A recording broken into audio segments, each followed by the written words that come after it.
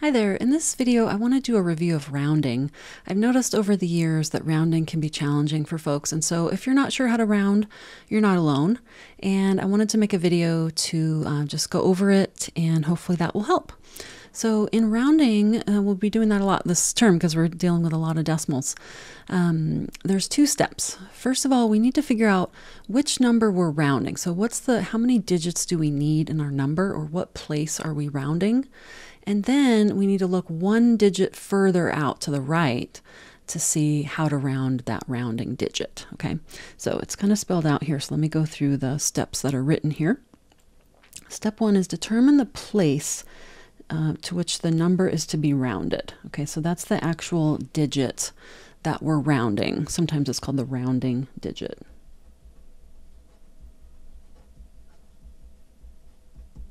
Okay, and it can be helpful to circle or underline it. So I will do some of that in this video. Okay, so once we figure out the digit, then we're going to look to the right of that number. And we, this is where you may have remembered the less than 5 or over 5. If the digit is less than 5, then we keep the number the same. And if it also depends here if you're to the left of the decimal or to the right of the decimal. If we were rounding, let's say to the hundreds, then we would replace any digits to the right by zeros. Um, if they're after the decimal, we can delete them. If the digit to the right is um, 5 or higher, that's when we increase the underlined number by 1. And then if we need zeros if we're to the left of the decimal and not if we're to the right. Okay, so um, if the digit to the right is less than 5, then we just keep it the same. So less than 5, keep it the same. 5 or higher, then we're going to increase the underlying number. And then we either change the zeros or if we can drop them if they're after the decimal place. So most of the time we will be rounding, actually all the time, we will be rounding um, digits to the right of the decimal so we don't have to worry about the zero part. Okay, let's do some examples so we can know what that means. And then here is just a number with all of our, some examples with um, the showing the names of the place values.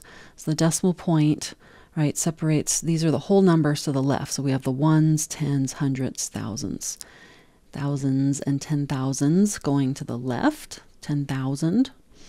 And then to the right of the decimal, those are the fractional part of the number. So 0.1 is the same as 1 tenth or 1 out of 10. So tenths with the th on the right, hundredths, thousandths, ten thousandths, hundred thousandths all going to the right. So sometimes the place will be named round to the hundredths place, or sometimes they'll say round to two decimal places. So that would mean the same thing. So hundredths would be two decimal places. Thousandths would be three decimal places. We'll use that more often than the, the number names or the place value names. Okay, but I do want to do one example of that. Okay, so in um, our example here, it says round each number to the place value given. So uh, our number is 126.745 inches, and we're going to round to the nearest tenth. So first we got to figure out which digit is in the tenths place. So I'm going to look in my chart here. Decimal and then tenths is the first place after the decimal. So in this case, it's a 7 in 126.745. Okay, so really what we're asking when we're rounding is which number is it closer to? Is this closer to 126.7 or 126.8? And that's what we're doing when we're rounding. We're saying we're, do not want the extra digits, but we want to know if we cut out that point, that 4 5 at the end, was this closer to 126.7 or 126.8? And you can probably tell because think of this as 45 uh, after the 7 that it's closer to 126.7. we would round this one down. And that's where that 0.5 comes in. If it's 0.5 or higher, so if this was 5.0 or 5.1, then we would say it's closer to 126.8. Okay, so this is a 4. The next digit after the 7 is a 4, so we keep it the same. So the answer to this one is 126.7. If I wrote 126.70 or 126.700, those are mathematically all the same. Now, sometimes you will write the zero to indicate I rounded to that, that place value. I rounded that, but mathematically they're equivalent. Okay, and this is different than significant digits. So if, um, if you in science you've use significant figures, that's those are different rules. Okay, we're not talking about that. Okay, let's do another one. So let's say we have. Oh, sorry. I also wanted to put inches on here because we in stats we will always have units on our answers. So I want to put the units on there as well. Except I put it on the wrong one. Okay. I can put it on them all. That's fine. Okay, so 5.68932 feet to two decimal places. So we want to round to two decimal places. So we count starting after the decimal. So 1, 2. So this is the 8. Then we look to the right and we see it's a 9. Okay, so again, let me just write out this question for a couple because I think it helps. Is this closer to 5.68, and we've got feet, or 5.69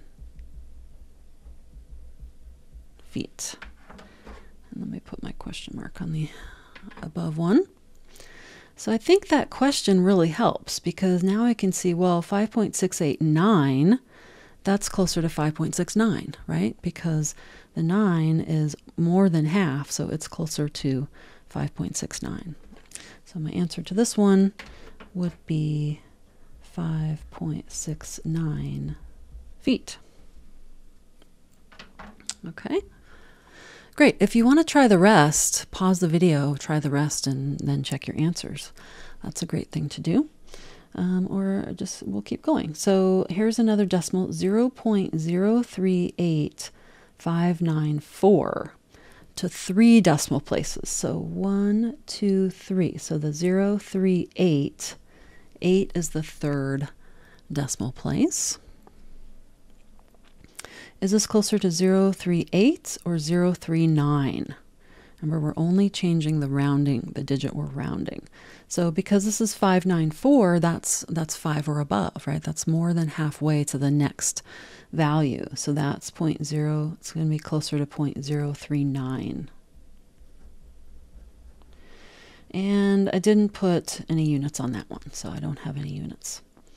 Um, one thing I will say here, though, is that leading zero, that doesn't change the value. So you can write it or not. That's the same as 0.039 is the same as 0.039. It's good to put the leading zero in medicine because decimal points uh, can make a huge difference when you're measuring out medicine. Um, and, and, it's always written, the leading zero is always written in formal mathematics, but not always written in informal, informally. I often don't. I just was raised never writing it, so I often don't write it. Okay, next one.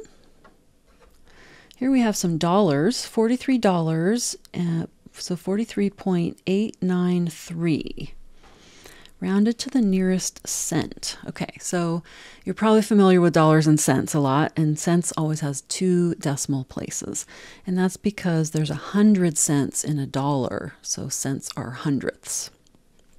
So cent is two decimal places. So in the US, whenever we're talking about money, we will uh, use two decimal places. So $43, eh, is this closer to 89 cents or 90 cents? And you can see that 3 is under 5, so it's closer to 43.89. And I'm going to put my dollar sign for my units, 43.89. Okay. let's say we just had 89, or let me make a different number, 72 cents. You can put the cent symbol after it, or you can put the dollar with the decimal 0.72 in case that comes up. Okay, great. Two more. Now, um, we'll be doing a lot of probabilities in statistics, so usually we'll be rounding to four decimal places. That's the standard for probability. So I have two examples of that. So we have 0.00125 to four decimal places. So 0012. So the question is, is this closer to 0012 or 0013? And because this is just exactly halfway in between, it looks like my um, looks like my thing is frozen. So let me pause it. Okay, I'm back. Unfortunately, the um, document camera freezes up sometimes, so I'm glad I caught it right away. Um, so I'll repeat just a little bit 00125 to four decimal places. So that is the 2. 0012. And is this closer to 0012 or 0013? And because this 5 is just exactly halfway in between, we round that up. That's the convention. 5 or higher rounds up, 4 or less stays the same. So this will be 0.0013 because it's halfway in between, so we go up. It's closer to 0.0013. Okay, last one. You may have remembered this that run into a bunch of nines sometimes.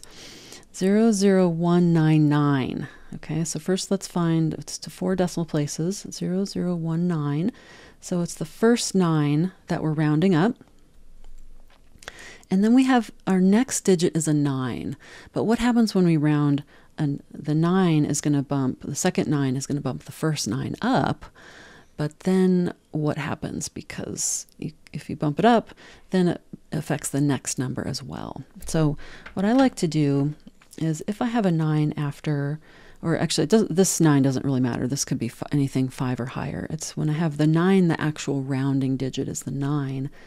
I like to look at the number in front and think of this as 19. So this is closer to 0019 or 0020? And that helps me go to the next number um, pretty easily. So uh, easier than if I just thought of the 9 all by itself. So think of this as 19 or 20. And because the second 9 is 5 or higher, um, it's going to be 20. So this is going to be 0.0020. So I did that to show that it was 19 and now it's 20, but also that would be mathematically the same. Let me move this up as 0, 0, 2. Okay, so sometimes that happens when you get a 9, and you could have even more 9s, right? Like you could have, let's do one more example. Let's say you had 0.1, 3, um, 1399. And then we have a 6. So let's say we're rounding again to the fourth to four decimal places. So I have a 9 in the fourth place, and there's a 6 after. So I know this 9 is going to have to bump up. But I have a 99 here. So that 99 has to go to 100. So it actually helps me to think about 399, and then that's going to go to 400. So you can use the little numbers inside the number if that's helpful for you. If you have a different way of thinking about it, that's totally fine. So that 6 is going to bump the 9 up because that's 5 or higher. This is closer to 1 400 than 1 399. So this will be 0.1400, or that's the same mathematically as 0.14. Okay, great. Well, I hope that helps you with rounding, and I'll see you in the next video.